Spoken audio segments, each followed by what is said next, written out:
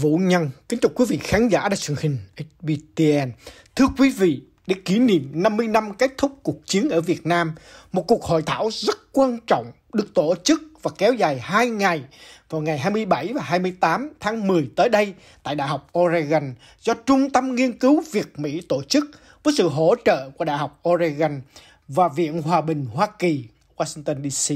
Đây là một cuộc hội thảo rất quan trọng có tầm cỡ quốc gia và quốc tế. Để cho cộng đồng hiểu rõ hơn tầm quan trọng của cuộc hội thảo này, Vũ Nhân kính mời quý khán giả theo dõi cuộc phỏng vấn đặc biệt của đài truyền hình HBTN với giáo sư tiến sĩ Tường Vũ, giám đốc Trung tâm Nghiên cứu Việt-Mỹ về vấn đề này. Thưa giáo sư, xin ông có thể cho biết lý do gì giáo sư tổ chức cuộc hội thảo này? Dạ thưa anh, dạ thưa anh Vũ Nhân, Ờ, năm 2025 à, sắp tới là kỷ niệm 50 năm cái ngày kết thúc chiến tranh ở Việt Nam kết thúc nội chiến ở Việt Nam và cũng là cái ngày có cái bắt đầu có cái cộng đồng tị nạn lớn từ Việt Nam mà sang tị nạn ở Hoa Kỳ. Thì chúng tôi nghĩ rằng đó là cái uh, thời điểm rất là đặc biệt có ý nghĩa lịch sử mà chúng để cho chúng ta cho chúng ta cái cơ hội để chúng ta có thể uh, ôn lại cái cái lịch sử và nghĩ đến những vấn đề hiện tại và tương lai tại vì nó đã 50 năm qua rồi 50 năm tức là hai thế hệ tức là nửa thế kỷ mà đã qua từ khi mà những người tị nạn đặt chân đến Mỹ. Thành ra là đó là một cái lý do rất là quan trọng để cho chúng tôi có cái cuộc hội thảo này để mà ôn lại cái quá khứ và nghĩ đến những vấn đề hiện tại và tương lai uh, cho cho cộng đồng. Đó là cái lý do lý do lý do chính và những cái thách thức nào mà chúng ta sẽ phải đối mặt trong uh, trong tương lai khi mà cái cộng đồng này càng ngày càng thay đổi. Đó là cái lý do thứ nhất. Cái lý do thứ hai mà chúng tôi làm cái hội thảo này đó là tại vì là chúng tôi muốn là làm cái cầu nối, tạo ra cái cơ hội để cho giới học giả, giới nghiên cứu, giới trí thức mà người mỹ gốc việt ở các trường đại học của mỹ, giới trẻ có dịp được gặp gỡ và quan hệ, tiếp xúc và hợp tác với lại những nhà hoạt động trong cộng đồng từ khắp nơi gặp gỡ nhau và nói chuyện chia sẻ những cái kinh nghiệm và hiểu biết và những cái quan điểm khác nhau về những vấn đề đối mặt với cộng đồng và để chúng ta có thể cùng hợp tác trong tương lai đó là hai cái lý do chính mà chúng tôi muốn tổ chức hội thảo Thưa giáo sư, xin ông có thể cho biết ai là cái người đứng ra tổ chức cái cuộc hội thảo hai ngày này? Hội thảo là do Trung tâm Nghiên cứu Việt Mỹ ở trường Đại học Oregon mà tôi làm giám đốc tổ chức. Thì hội thảo đã được sự giúp đỡ của trường Đại học Oregon và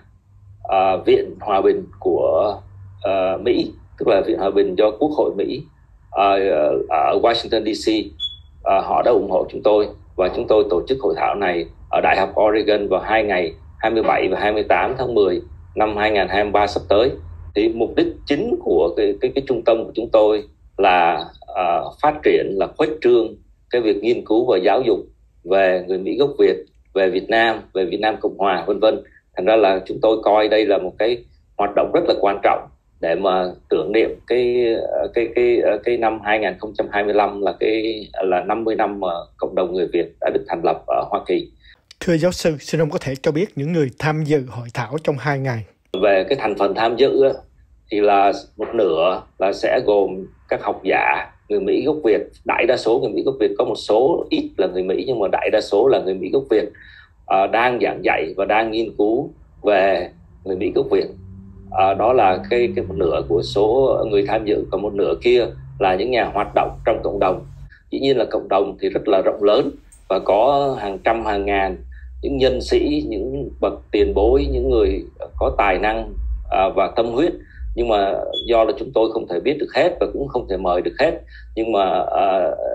thành ra là chỉ là mời được một số để đại diện mà thôi. Mục đích là nhằm là thúc đẩy cái sự mà hiểu biết và cái sự uh, chia sẻ. Thưa giáo sư, như vậy là những người giáo sư đã mời hoặc là những nhóm giáo sư đã mời thì theo giáo sư, những người đó và những nhóm đó có thể những ý kiến của họ có thể đại diện được ý kiến của cộng đồng người Việt tị nạn tại Hoa Kỳ hay không, thưa giáo sư? Người hay một nhóm nào đó không, không thể nào có khả năng, không thể nào có đủ cái cái tri thức và cái hiểu biết để mà có thể nói được về tất cả các vấn đề của cộng đồng. Không ai mà có thể hiểu biết được tất cả mọi vấn đề của cộng đồng để mà có thể nói được mà cũng không ai có quyền để mà đại diện cho cộng đồng để nói được vấn đề này vấn đề kia mà nó là vấn đề mà uh, chúng tôi muốn là có cái sự có cái sự tham gia đông đảo và có có cái trí tuệ tập thể để mà có thể suy nghĩ về những vấn đề này. Và nghĩ đến những cái giải pháp nào đó mà có thể ở cộng đồng này có thể học hỏi được từ cộng đồng kia à, hay là hay là nhóm này có thể học hỏi được nhóm kia à, để mà có thể làm cho cộng đồng ta có thể tốt đẹp hơn. Cái hình thức tổ chức của chúng tôi để mà có sự tham dự rộng rãi của tất cả mọi người. Thưa giáo sư, đây là một cái cuộc hội thảo rất quan trọng, Phủ Nhân nghĩ nhiều người rất quan tâm và nhất là những cơ quan truyền thông báo chí và tổ chức hội đoàn. Thì muốn liên lạc để mà đi dự cái hội thảo này thì phải làm như thế nào thưa giáo sư? Và nếu mà quý vị uh, muốn tham dự thì rất là dễ, rất là đơn giản.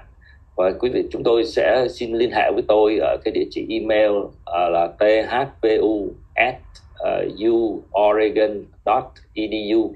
là chúng tôi là tôi sẽ gửi cho quý vị uh, thông tin về địa điểm thời gian và cái cách đến tham dự. Thì đây là một cái hội thảo mở hoàn toàn cho công chúng. Không có không có đóng cửa tức là ai ai vào cũng được thưa giáo sư như vậy là cái hình thức tổ chức hội thảo như thế nào thưa giáo sư? Cái, uh, cái hình thức uh, tổ chức hội thảo của chúng tôi là dùng cái hình thức mà tiếng Anh gọi là round table tức là bàn tròn nó dịch dịch uh, nghĩa đen là bàn tròn. Nhưng mà cái nghĩa mà trong hội thảo đó trong từ chúng tôi hay dùng trong hội thảo đó thì nó có nghĩa là không phải là chỉ có những diễn giả được mời đến là cứ nói từ đầu đến cuối mà họ chỉ được nói một ít thôi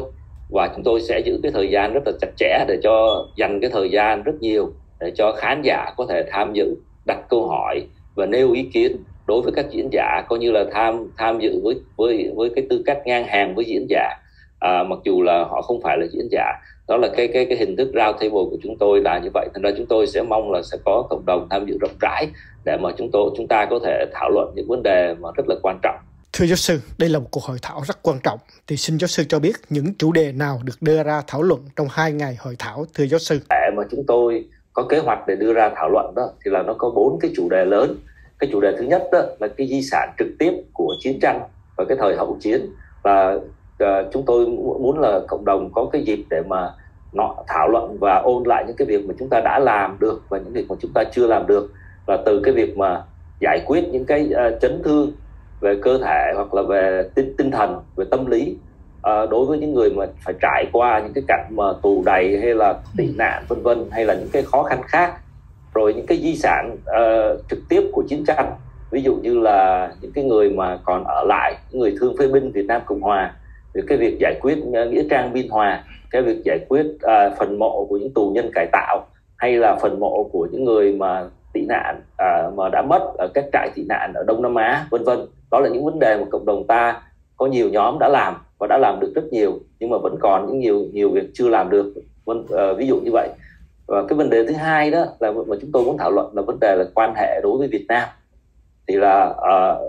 cái, cái ờ, cái cái cái câu hỏi chính đó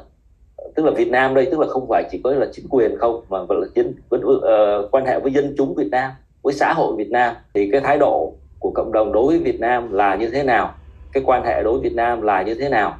À, một cái chủ đề thứ ba đó là vấn đề mà xây dựng cộng đồng về mặt kinh tế về mặt chính trị về mặt xã hội à, à ở nước Mỹ này. Có những cái uh, việc mà chúng ta cần phải phải uh, ghi nhận cũng có những việc mà chúng ta cần phải thảo luận thêm. Và cái chủ đề thứ tư đó là chúng ta tôi muốn là từ cái cộng đồng của Mỹ và chúng ta có thể nhìn ra những cộng đồng người Việt hải ngoại ở trên thế giới ở Úc chẳng hạn ở Âu Châu chẳng hạn và hiểu được là chúng ta khác ở chúng ta có cái thế mạnh gì so với họ hay là chúng ta có những cái khó khăn gì đặc biệt hơn so với họ. Và chúng tôi cũng có một cái phiên thảo luận đặc biệt dành cho giới trẻ tức là cái vấn đề mà uh, khác biệt và xung khắc giữa cái thế hệ thứ nhất và thế hệ thứ hai và cả thế hệ thứ ba uh, và cái quan điểm chính trị uh, giữa dân chủ và cộng hòa hay là những vấn đề khác nữa thì là cũng có nhiều cái sự xung đột và khác biệt uh, xung khắc giữa giữa giữa hai giữa hai cái thế hệ ba thế hệ thành ra là chúng tôi có một cái phiên đặc biệt dành cho thảo luận về về giới trẻ và để cho giới trẻ họ có cơ hội nói ra những cái quan tâm, những cái nguyện vọng của họ. Chúng tôi rất mong là cộng đồng sẽ tham dự và ủng hộ nhiệt tình cho chúng tôi. Và nếu mà